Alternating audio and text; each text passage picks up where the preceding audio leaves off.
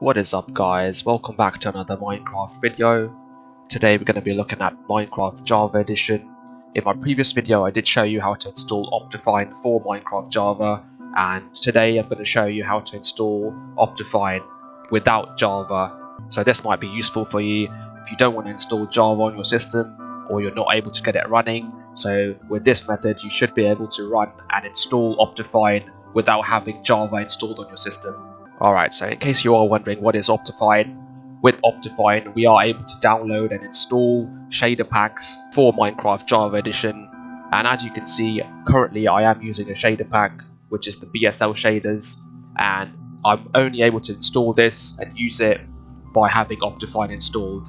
So it's really cool to have it installed. And today I'm going to show you how to install it without Java. Alright, so the first thing you need to do is open up your internet browser and just type in Optifine in the search box there. And it's normally the first link, so as you can see, optifine.net, if we just click on that. Click on downloads, click on this link here, which is the mirror link, and hopefully it is the uh, direct link to the download file. Click on download, it will start downloading. Alright, so once you've downloaded the Optifine file, if you put it on your desktop and just rename it to Optifine and I'll show you why we're renaming this file later on. And the next thing you need to do is right click on your Minecraft launcher click on properties and need to see where your Minecraft launcher has been installed to. As you can see my one has been installed in the D drive in the games folder.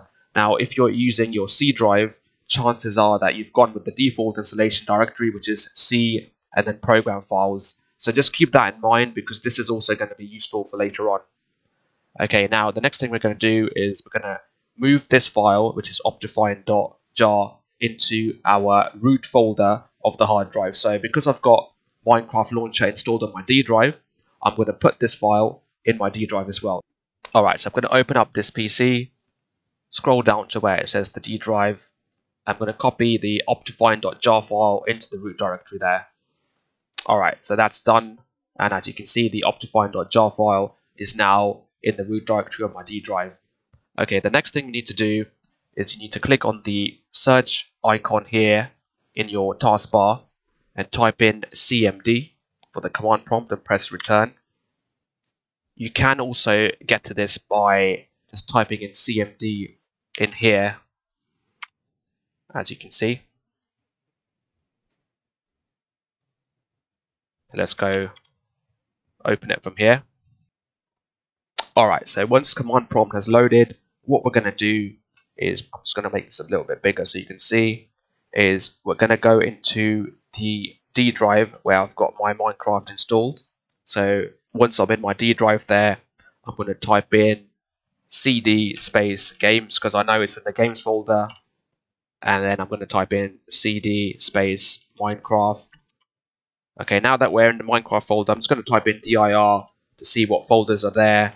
And the one that we need to go to is this one, runtime. So if you type in cd space runtime, and then again, we're going to type dir just to see what folders we've got there. So as you can see, there's a folder here called jre hyphen legacy. So I'm going to type in cd jre legacy. Then I'm going to do dir again as you can see, I've got another folder here called Windows-x64. I'm going to do cd Windows-x64. dir again. We've got another folder here called jre-legacy. So cd space jre legacy. Okay, dir again just to see what we've got in here. And as you can see, there's a bin folder. So that's the one we need to go into. We've got other ones here as well called lib but we won't require that lib folder. We need the bin one. So if you just type in cd bin, all right. Now, if we just type in dir, all right. So now you can see we've got all these files in the in the bin folder, and the main file that we need to use is this one, java.exe. If you see here, I've got the uh, JRE legacy folder open. If we go into the bin folder, java.exe is actually preloaded into the Minecraft folder when you install it. So that's what we're actually using. So basically we're using the java.exe file to enable us to open up the Optifine file and install it. Alright, so let me just minimize this. Alright, so now that we're in the bin folder here in DOS, what we need to type in is java space. You can also type in java.exe and then what you need to type is hyphen jar and now because we saved our Optifine file in our D drive, you need to type in D colon optifine.jar. Now, obviously, if you've put this in another folder, if you put the Optifine file in another folder, you need to put that path on here exactly how it is. So just make a note of how this looks. So it's java hyphen jar and then the Optifine file where that's located. Hit enter and it should open up the Optifine installer.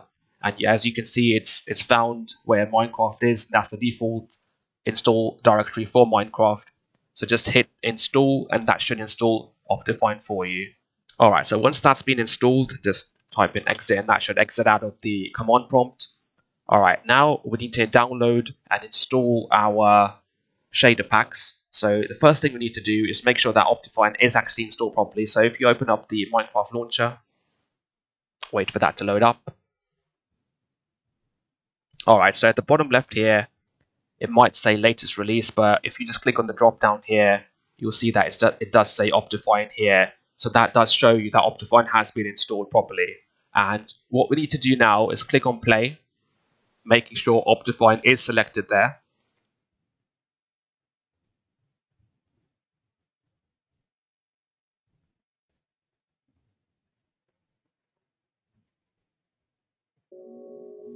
Alright, now we click on options video settings, shaders, and if you click on this button here which says shaders folder, it will open up the shader packs folder and as you can see it currently says this folder is empty because I have deleted all my shaders just to show you this example. What we now need to do is download a shader pack and put it in this folder.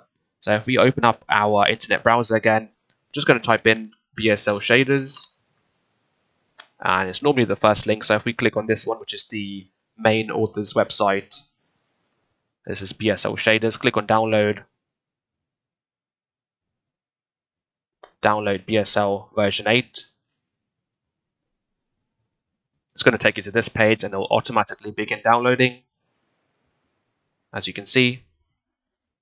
Alright, so as you can see, I've got the BSL zip file, so you don't actually need to unzip this or anything you just take this file and just drag it into the shader packs directory and that's it.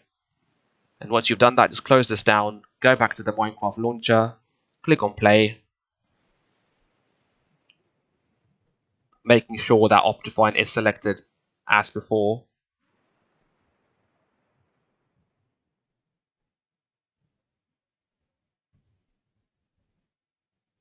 Just wait for this to load up.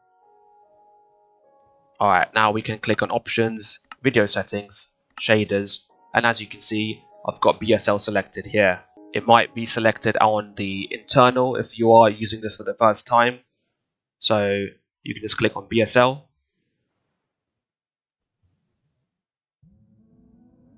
And you know it's been selected because that's the one that's highlighted. So click on done, click on done again. Let's go back into our game and see how it looks. Alright, so now we are enjoying the BSL shaders and happy days are here. And we have successfully managed to install Optifine without having Java installed on our system. I do recommend that you do try and do it the Java method because this method is quite long. But if for some reason you cannot install Java or you don't want to, then all you need to do is, as I showed you earlier, use the command prompt, use the java.exe, in the Minecraft launcher folder, and making sure that you type hyphen jar and then the pathway to where you've got Optifine stored and that will open up the installer for Optifine. Hope you guys have found this video useful. If you have found it useful, please give us a like. Please do subscribe to this channel to help support it, help it grow. If you have any queries or comments or you have any problems, please do leave them in the comment section below. And thank you for watching.